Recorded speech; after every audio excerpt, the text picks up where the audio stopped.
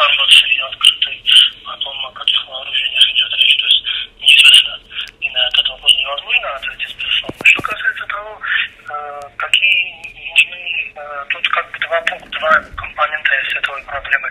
То есть, одна связана с восполнением тех потерь, которые были понесены в результате военных действий, а другая касается долгосрочного развития. То есть, э, относительно вот в этих самых потерь, например, некоторые российские эксперты уже говорили о возможности поставок вооружений из наличия, то есть уже не новых произведенных, а уже имеющихся э, некоторое время уже в эксплуатации для быстрого восполнения каких-то потерь. Это, в общем-то, принятая практика. То есть такая возможность не исключена. То есть конкретной информации опять же нет, но возможно такой вариант. Второй пункт, он касается долгосрочного развития вооруженных сил. И тут, конечно, уже это очень сложная проблема, потому что она упирается в, во-первых, финансовые возможности армянской стороны, в готовность российской стороны на э, предоставление каких-то льготных условий.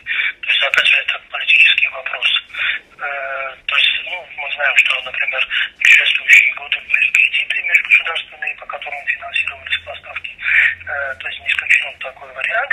И, опять же, от масштабов вот этих льготных условий, в том числе зависит и что будет приобретаться. И, конечно, этот вопрос очень сильно связан с тем перспективным обликом вооруженных сил Армении, который предполагается, что он появится в результате военной реформы. Но вот здесь тоже очень много вопросов, так как сама военная реформа тоже пока не очень понятно, как будет выглядеть.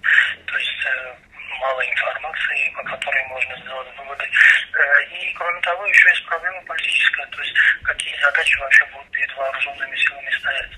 Э, она упирается в место и роль э, Армении в регионе. То есть в зависимости от того, э, какие, какой будет, каким будет это место, соответственно, будут и вооруженные силы, перед ним будут ставиться соответствующие задачи, соответственно, будет соответствующие будут системы вооружений.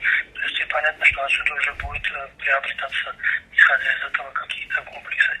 Э, но так как вот все эти вопросы, на них, по сути, нету ответов, это неопределенность, нету определенности с этими вопросами, то вот конкретно сказать, о чем будет речь идти вот в долгосрочной перспективе в плане развития системы вооружений, сейчас очень сложно, так как э, как бы здесь несколько вариантов моделей вооруженных сил.